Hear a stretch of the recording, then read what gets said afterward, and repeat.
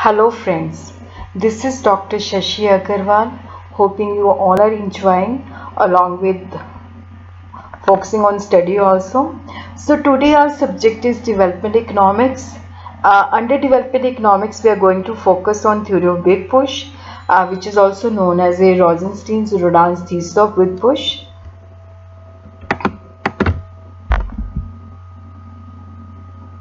as the subject is development economics and the topic is theory of big push.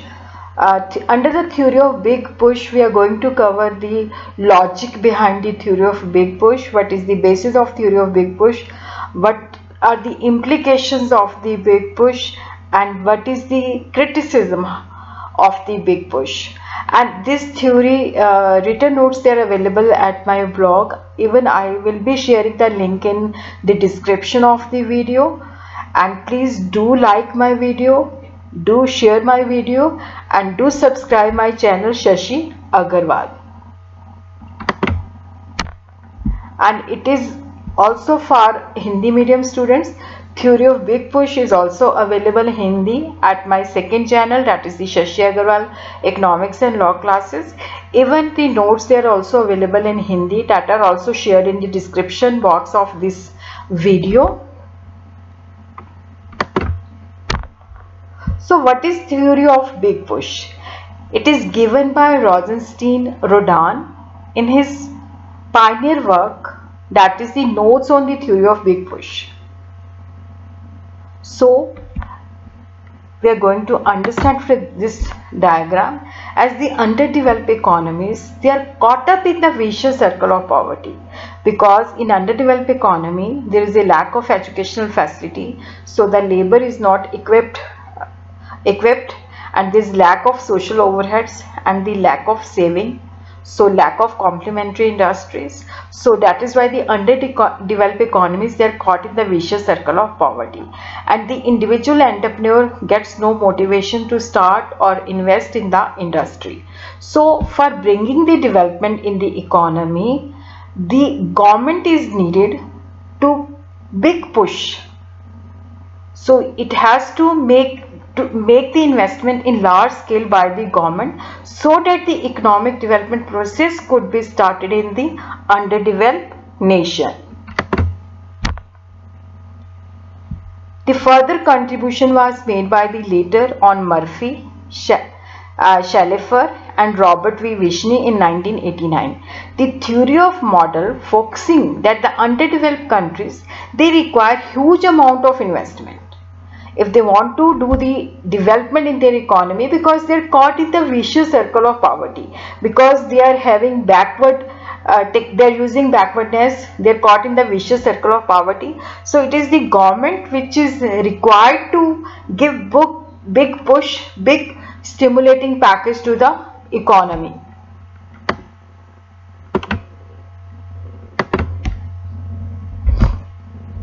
underdeveloped countries, there is a chronic problem of capital formation, skill formation and backward economic infrastructure in terms of the means of irrigation, transport, banking and communication services and life. Because the underdeveloped economies, there is no lack, there is a lack of education, so less chances of skill formation, less income, less saving, less investment, so low capital formation and the social overhead infrastructure is also very low. So the individual entrepreneur is not motivated to make fresh investment because there are limited channels of the economic activity, lack of the complementary industry. Complementary industry means like a, there is a industry, B industry, C industry. They are dependent upon each other. A's products they are used by B, B's product they are used by C and A and so on. So there is a lack of complementary industry. Theory of big push stresses the need for big push to the system with simultaneously investment across different channels of growth so that the economy should have economic development. So a big push is required. Underdeveloped economy has to develop so big push is required. The investment has to be made in different sectors. there is uh, it doesn't mean that we have to make development by single dose like we have to make a push we have to push the economy on the path of economic development so the investment is needed in many different sectors the big push obviously is to be by the state as the private entrepreneur they do not have the necessary inducement to investment. The underdeveloped economy they have the uh, poor infrastructure. So provision of social overhead is also much needed for the growth of various complementary industries simultaneously so they are expected to break the vicious circle of low profitability and low investment. Because when the infrastructure is created so every firm will enjoy the external economy. And there will be growth of so many industries. So the economy will have a path of economic development. Private entrepreneur would come forward to tap the potential of profitability when the government makes infrastructure, when the government makes investment.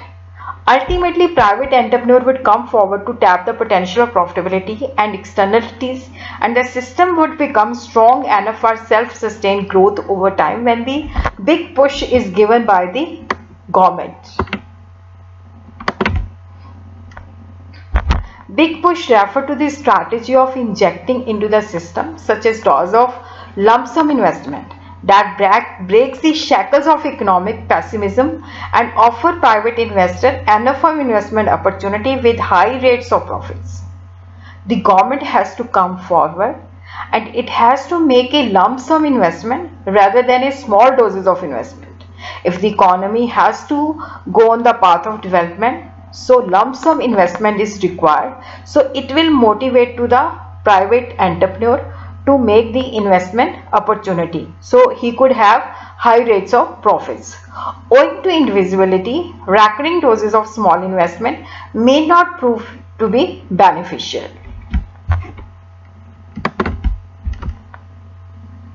Professor Rosenstein Rodan has said there is a minimum level of resources that must be devoted to a development program if it is to have any chance of success. Launching a country into self-sustained growth is like getting an aeroplane off the ground. There is a critical ground which must be passed before the craft can become airborne. So infrastructure has to be created created for the purpose of economic development so that the motivation should be there for the private entrepreneur to set up their industry so they should enjoy the external economies which are created by the individualities there ought to be a critical minimum size of growth program so that the constraints of individuality and discontinuity in the system are effective overcome and these economies of scales are converted into the economies of scale. Small investment would not work. So the minimum amount of funds is to be injected in the economy so that the economy should have external economies of scale. It should avoid the diseconomies of scale.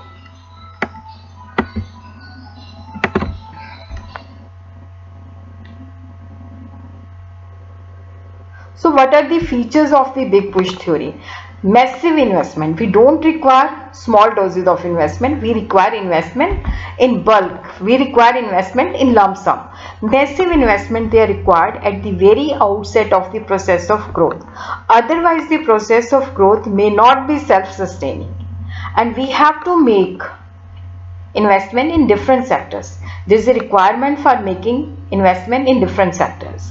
Need for investment across different channels of growth so that each channel sustains growth of others by providing the necessary demand base. Because if we are going to set up one industry so the demand will not be equal to supply will be more and demand will be less. So we have to make investment different sectors so they complement each other and the demand and supply is equal and the economy has to uh, go for a process of industrialization and it should be achieved through planning. Need for plan in industrialization in less developed countries where agriculture happened to be the dominant sectors but that is backward. So due to the agriculture the people are poor. So a big push is needed for making the less developed country a planned industrialization. So what is the basis of big push theory? The big push theory says then massive investment is made, external economies are there, the benefit of which could be taken by every firm. So external economy, they are the principal basis of this theory. Professor Rodan states, stressing the externalities is what separates the theory of growth from a static. Because when the external economy they are available to each and every person, each and every firm, so they will be coming forward and setting up their units, they will be making more investment. Uses the concept of external economy in very specific sense. These economies which are available to all producing units. Because because of the overall growth of the economic activity in the system. External economy act as a catalytic agent in the process of growth. And it is only available when big push is given to the system as a whole.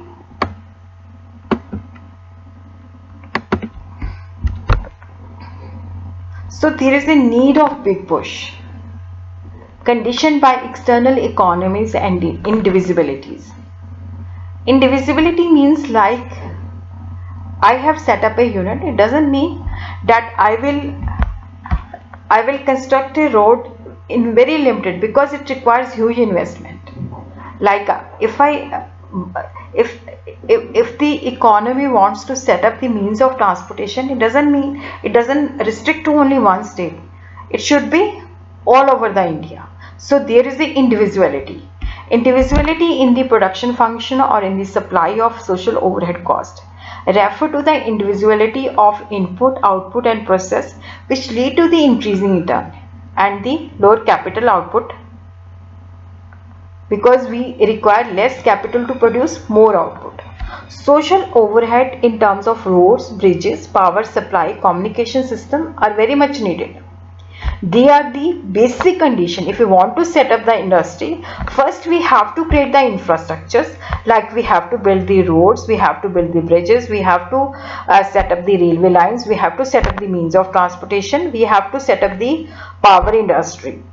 Because these are the industry where the gestation period is very long gestation period is very long like we have to make investment huge but the return will be after so many years. So the private sector will not be coming forward. So it, it is the government which have to create this social overhead so that the industry could be set up.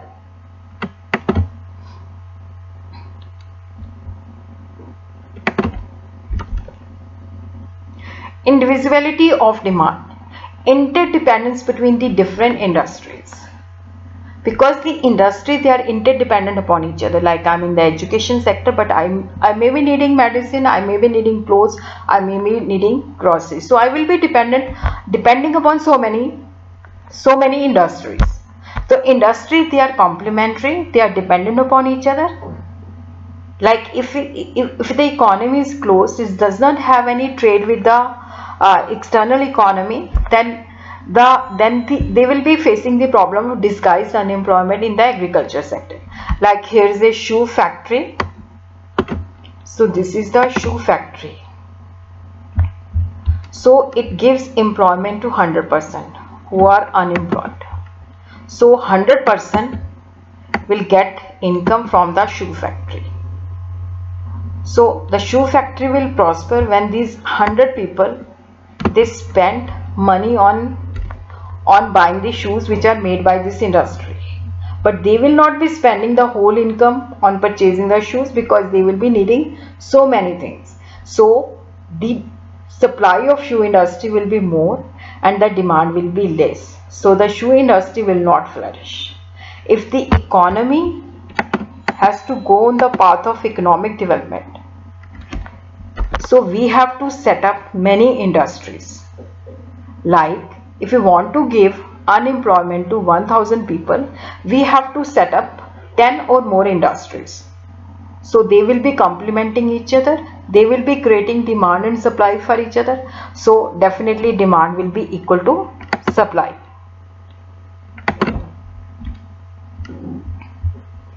Individuality of supply of saving critical minimum investment in terms of big push calls for critical minimum saving potential in the system. In the underdeveloped economy the people they have less income. So they have less saving. So there will be less investment. So for the underdeveloped economy there should be large investment. If the large investment they are made by the government there will be chances of growing the income in large. Large saving are possible when the size of the income is large.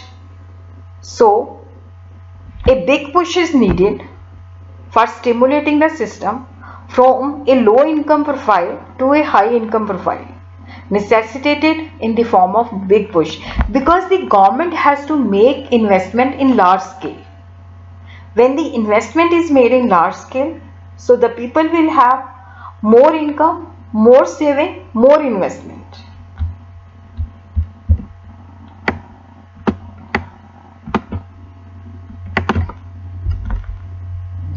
So what are the implications? So, so three types of individualities they are required. So a big push is given to the economy so that the economy should have economic development. A lump sum investment, lump sum means huge investment, massive investment in various complementary which are interdependent upon each other and the social overhead cost, social overhead infrastructure has to be created. Then the economy will have all round economic development. When external economies are there, the industry will enjoy and they will have the increasing return to scale and there will be balanced growth. So this theory is criticized by Jacob, Viner, Alep, Howard and Adler. They say this theory is impracticable. They say when we do business with the foreign countries, so there is no need to big investment. So because when we do business with the when we indulge in the foreign trade then we don't require because uh, external economies could be created. And there we, we uh, uh, when we do business with the uh, when we do business with a foreign country external economies are available and there is no need to make investments. Because the underdeveloped economy they have the shortage of funds. So this theory is not practicable less increase in production. They says external economies will reduce the cost but it will not increase in the production. Because underdeveloped country they produce more primary products. So there are no chances of the growth of production in these areas. And they have also neglected the agriculture.